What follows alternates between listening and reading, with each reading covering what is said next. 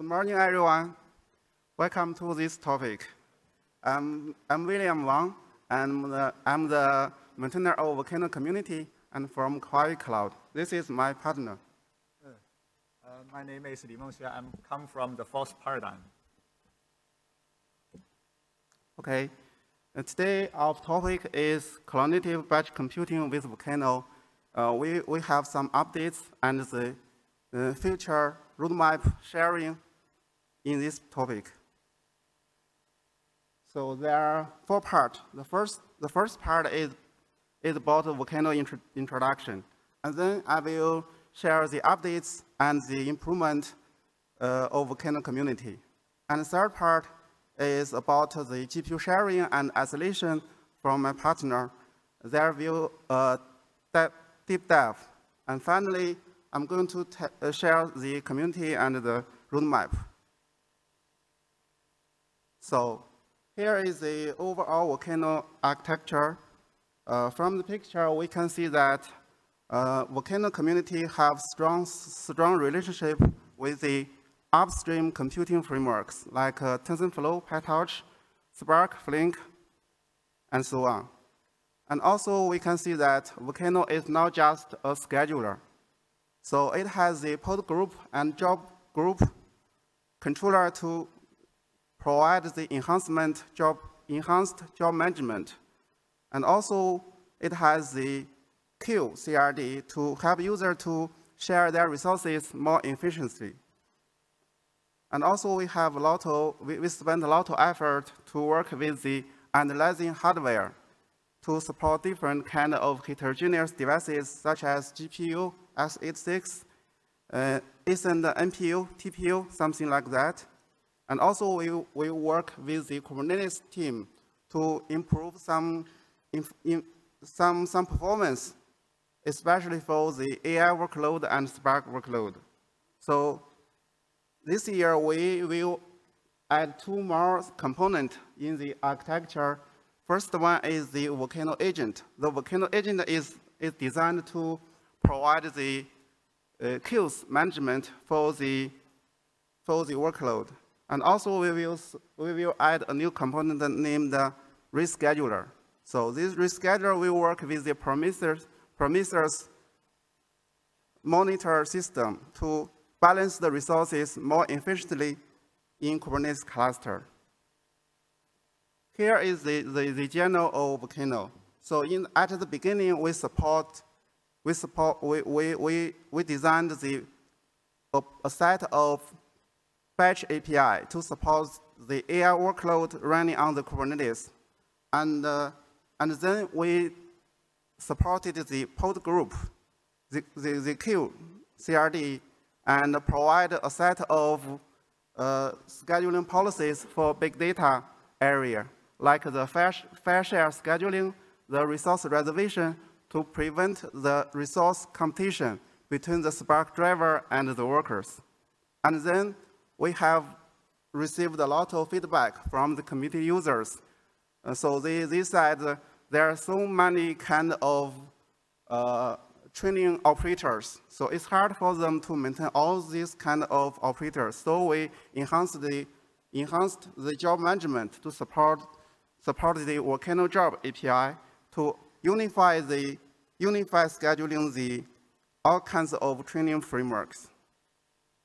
And then today, uh, we are doing a lot of work to support the uh, large, language, large language model training and inferences. So today I will share some, some new features at this area.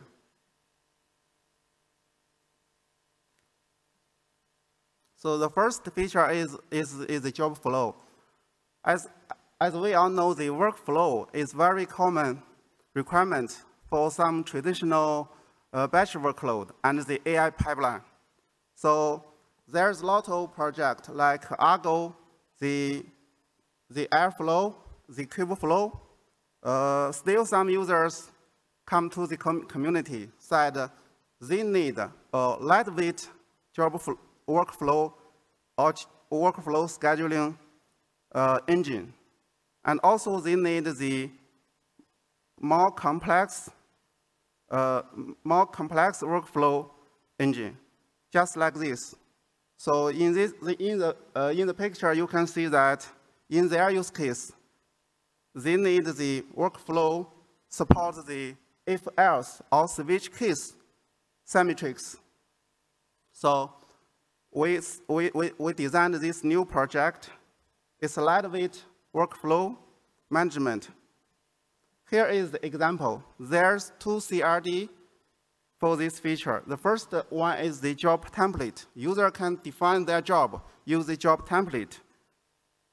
And the, and the third one is the job flow. So user can define the, the dependency between the jobs in the job flow. The next new feature is the load awareness scheduling and the rescheduling. So we can see that uh, uh, in, your, in, your, in your cluster, we, we all know that the, the utilization for each node is very different. So it's, we expect the usage on, every, on each node is, is balanced. So the, the, the, the, the, the basic reason is that currently the request and the node allocatable resource is scheduled. Is scheduled, is scheduled. And uh, the, the, next reason is that uh, the pod goes away from time to time, and new pod is, is created from time to time. So it's hard to keep the resource balanced on each node. So in this feature, we this feature we support the volcano scheduler to communicate with the monitor system like uh, Prometheus and the ELK system. So the, the scheduler is awareness of the is awareness of the, the, the usage of each node and scheduler according to the usage. The next one is, is, is about the capacity scheduler. As, as we all know, Volcano supported the proportion scheduling several years ago. The, prop, the proportion scheduling is, is very flexible. So it can share the resources among different queues based on the weight. And also, the scheduler reclaim resources by the weight automatically. And when the user, when the user scale more node into the cluster, the scheduler can keep the ratio all the time. It's very helpful and uh, flexible. But also we have some use, use cases that users say that they want, they want to configure the resources and share resources by their configurations. So we supported the capacity scheduler policy in Volcano this year. As you can see, the policy is, the policy is is support, support user to configure the, the maximum resources in the queue and the capacity and the capacity resources in the queue. And also we, we, we support the reserved, reserved uh, resources in the queue. So these three kind of uh, definition support the fine-grained scheduling and reclaiming in the, in the scheduler. Here is a use case from the LinkedIn. They have super large GPU clusters, and they use Volcano and use Q to share resources. Uh, but in their production environment, they have multiple organizations in their cluster. And for each organization, they have the different kind of GPU resources, such as V100, 800, and T4, something like that. So how to use the scheduling, scheduling and share resourcing mechanism to share the resources and achieve a great, perfect resource utilization is a great challenge. So they, they tried a lot of approaches. Uh, at the beginning, they used the solution one. They used the resource quota to, to, to do the isolation, but the resources not, can't be reused efficiently. And then they use the proportion policy. They configure the weight for each queue, mapping to their organization. But the, the, the, resource utilization goes up, but still something can be resolved. something like that. The, the resources, uh, the resources about the V100 and A100 can be shared fully uh, uh, in, among their different organizations. So we supported the, the deserved resources uh, based on the each, di each dimension of the GPU, GPU. Like, like the, the red part. After this, after enable this feature, their production environment utilization uh, have goes up and, uh, and achieved good result. For other part, we this year, this year and later last year, we improved a lot of minor features. The first one is about the we enhanced the scheduler to support microservices, and uh, and currently user can move their default scheduler to Volcano in the cluster and smooth and very smoothly. And also we enhanced some some other features, such like keep the uh, keep the scheduler work with the autoscaler more, more efficiently. And also we add, uh, add some new small features to, to help prevent the, prevent the, the, the, the, the, job from, from preempted uh, in, some, in some conditions. Next one is about the collocation. There's, there's more and more users they, they are deploy their different kind of workload into one cluster, such as, such as coexist the Spark application and the long-running services, and also coexist, coexist the, the training workload and the inference workload to achieve better resource utilization. So, so we developed the this, this feature. In Volcano, we support the QoS management and the and the resource over, commit to make, you, to, make, to make full use of the resources and also prevent the, prevent the interference between different containers. This feature will hopefully will be, will be released at uh, quarter two, Q2. And next, there's a big feature about GPU sharing. My partner will introduce this feature and, uh, and show how to, how to use this feature and some, and some more use cases. Thanks, William, and the Volcano community for inviting me here. I'm the contributor to this vGPU feature, and uh, I'm glad to give you a deep dive about this feature. the background of this feature is the growing requirement of the computing power as you can see in these figures, the requirement of computing power grows quite exaggerating, especially with the emergence of the large language models, as you can see with the red line, it can be as great as 375 times per year. In the meantime, GPU manufacturers has released GPUs with more rapidly, more rapidly with more computing power to match the trends, and of course with a higher price. Another challenge is the device utilization in Volcano and Kubernetes cluster is quite low. Large amounts of computing resources are spoiled. The left two figures are the core and memory utilization of a single, single A100 GPU in a Kubernetes cluster. As you can see, the core utilization equals zero for half of the cycle, and the memory utilization is quite low as well. The major reason behind this scenario is the GPU-related resources can only be used in an exclusive manner. Our solution to, to these challenges is to design a device sharing mechanism called vGPU. And unlike, and unlike other device sharing mechanisms, Volcano vGPU can provide device memory isolation among containers.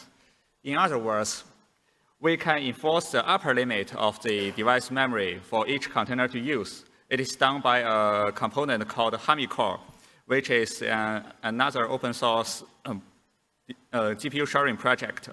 And you can see in this figure, at the scheduling level, The Volcano scheduler is responsible for grasping the usage of devices and assigning tasks to, to appropriate node. Then it passes on to device plugin to mount the, uh, uh, the Hamicore and uh, the proper devices into the container. And, it, and the Hamicore is, respons is responsible for the in-container resource control. And how do we achieve that? I mean, how, how do we contain the resources used in containers? Uh, we, we, use, uh, we achieve that by using a component. Um, it hijacks the level search between the CUDA runtime and the CUDA driver. It records every memory allocation and retains an OOM error if it exceeds the limit. As you can see in this figure, figure if, we if we allocate 3G device memory to this container, it can only get 3G when curated by NVIDIA SMI, just as, just as the figure shows. Besides memory isolation, it has the following other features as well, like core, utilize, core utilization limitation. It can guarantee fault isolation and is transparent to GPU tasks. Volcano vGPU is quite easy to use. Simply specify the number of GPU you wish to mount into the container by, by using volcano.sh slash vGPU number. And you can specify the device memory available for each GPU mounted using volcano.sh slash vGPU memory. In this example, we create a container with two GPUs. Each have an upper limit of 10 G device memory. The result is shown in this figure. Volcano vGPU uh, can improve the GPU utilization greatly in many scenarios. A-B testing is one of them. Let's consider the following scenarios. This is a typical A-B testing, um, A-B, A-B, te A-B testing solution uh, platform. It has the following features. The whole system consists of a base production model and several uh, experimental variant, variant models most of the input is processed by the production model, and a small part flows into the variant model. Without the help of the vGPU techno technology, each vari variant model requires an exclusive GPU, which is a waste of computing power because the flow, the traffic flows, flows into the variant model is quite low. With the help of Volcano vGPU, however, the two variant models can share on a single GPU, and they can leave the GPU completely idle for other tasks for use, to use. There are many concerns regarding the performance of Volcano vGPU, and we can safely assure you that the overall overhead introduced by Volcano vGPU is below 1%. On the other hand, the throughput can be increased by 10 to 90% due to the due to the kind of task, it, it performs very good in the inference uh, scenario. And Volcano vGPU is officially supported in Volcano 1.8. However, there is still much work to be done. We plan to add a monitoring system in May 2024, and we plan to support multiple schedule policies in this summer. We also have a plan for next year, which is to be compatible with GPU operator and other heterogeneous devices like Intel GPU and AMD GPUs. Um, we are looking forward for you to try this feature and provide feedback to us. Thank you. It's a great, it's a great features in Volcano, so feel free to visit the Volcano to have try. So the next part is about the community. So here, here, here is, here is overall, overall. For the public users, we have a lot of users adoption, especially for the AI and big data, big data and uh, Genie and transcoding workload. Here is the here is the part of the uh, adapters. For the code, diversity in the last uh, 12, 12 months, you can see that you can see that we got good, good diversity in the community development. Um, almost more than more than 50% contributors are from from the independent contributors, and also here is the the future. The, uh, the, the, the, the major features the major feature we, we are going to work this year. The, in addition to the, the algorithm, in terms of AI engineering, the biggest challenges for AI training and inferences are the scale, the performance, and the cost. So this year, Volcano will focus on this, these aspects. The first one is, is about the topology awareness scheduling. As we all know, in large model training scenarios, network topology is, eh, and the task topology is very important. And the bottleneck has changed from the computing to the network. So the scheduler will be awareness of the, will be aware of the task topology, like the, the data parallelism and the tensor parallelism and pipeline. So, and also the scheduler need to be aware of the network topology, topology such as the RDMA, NV switch, NV link, and something uh, like that. So how to use the scheduler to schedule a set of pod with higher requirement for the bandwidth to a group of node with, connected with high-speed network is very important to improve the training performance. And also for the inference, we will going to add more support for the resource sharing. Besides the GPU sharing, we will support the Ascend NPU device sharing and, and, and some heterogeneous devices more. And the, the second one is the second one is about the AI training on multi-cluster. As we all know, the, the model and the model is, begun, is, is becoming more bigger and bigger. So, so the, the training of multi-cluster is, is, is, is, a, is a great is a great trend, and we are exploring in, in, in, this area. And third one is about the Ascend NPU support. As we all know, the, the Ascend NPU is, very, is more popular and popular in some area uh, besides the GPU. So we will support the NPU sharing and the NPU topology scheduling, something like that. And last one is, is, is the collocation. So it, it is found that more and more users are trying to deployment multiple workload to one cluster, as we said, as we just said. So, so we will still work, spend a lot of effort on this area. Finally, the community will provide the broader support and optimization for the, for the other heterogeneous devices uh, like AMD and Intel. So there's still a lot of requirement from the community. Uh, feel free to feel free to get involved of community. Here, here are some resources feel free to go to the community to share issues, share the requirement, or make contributions with us together. We also have some, uh, we have the Slack, Slack channel. Uh, we can communicate, communicate there. So that's all from, from my side. Thank you.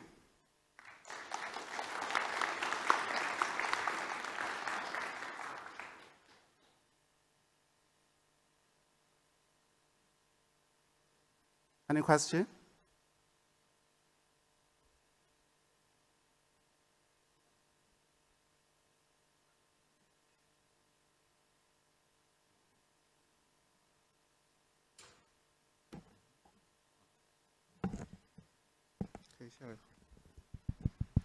Hello. Okay. Uh, thank you for the talk.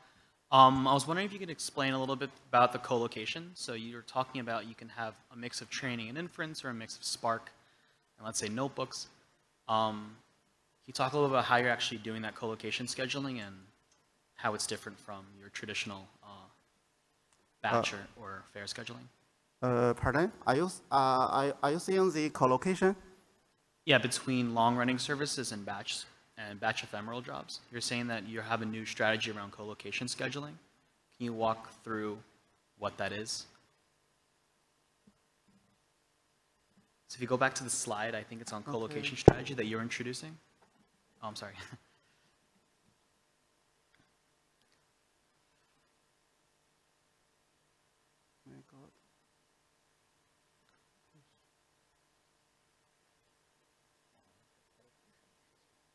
This yeah, page? this one. Yeah, I was wondering if you can walk through that yellow section and how that enables both long running and ephemeral jobs to exist in the same nodes or same cluster.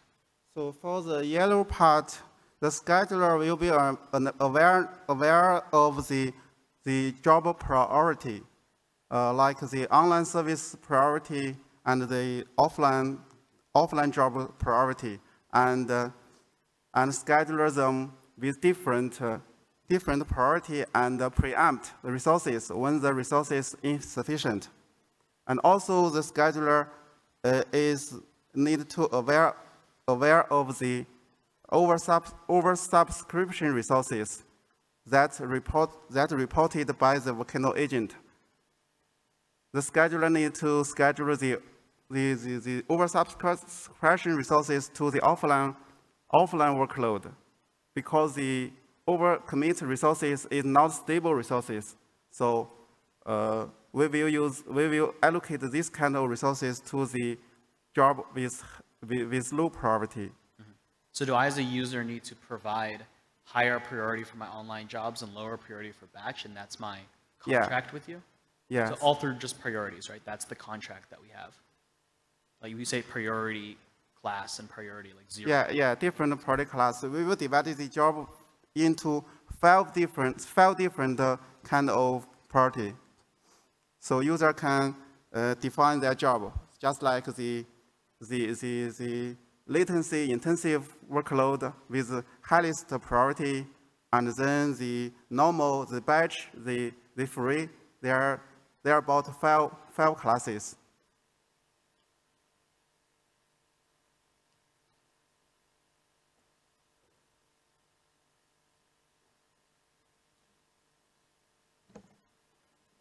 Okay, okay. Thank you.